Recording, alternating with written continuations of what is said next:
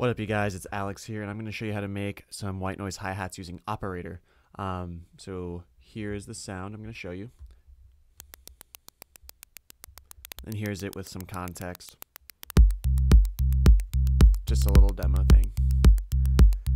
Cool. Um, I'm not only going to show you how to make those sounds, but you can also make shaker type sounds, like for instance, got really loud. You can do all sorts of variations on this. It's really easy. So let's just go ahead and dive into it. So what I'm going to do, um, I have my little kick and bass here. And I just drew in on this MIDI track, I drew in 16th notes.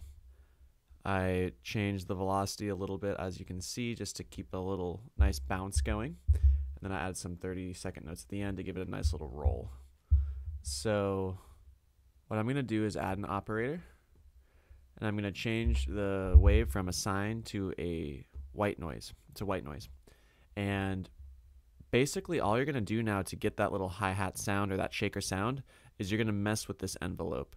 You're going to bring your sustain to zero and then just start messing with its decay value. So watch what happens as I do that.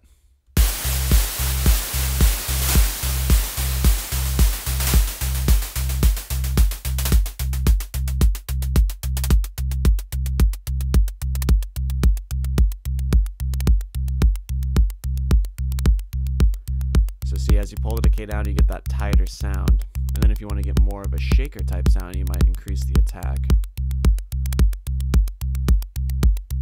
Turn this down, it's way too loud. A little bit more.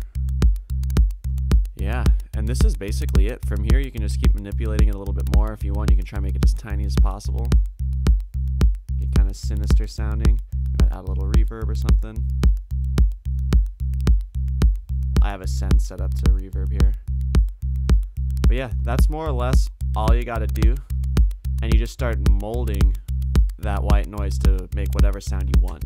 Now, I really think it's important to to know how to mess with white noise because it's kind of like a block, um, eh, like a block in the sense that like you carve away at it and you can make whatever you want out of it.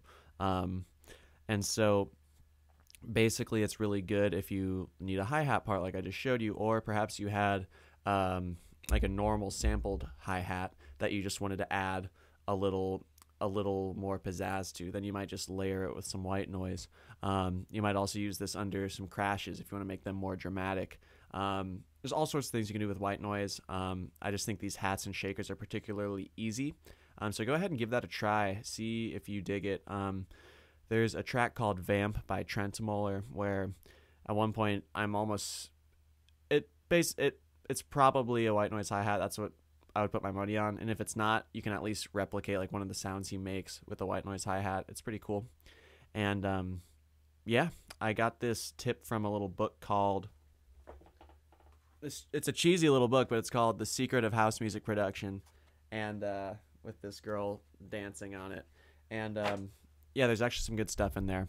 So yeah, go ahead and give that a try. If this helped, please subscribe. Um, I appreciate it. Y'all have a good one. Adios.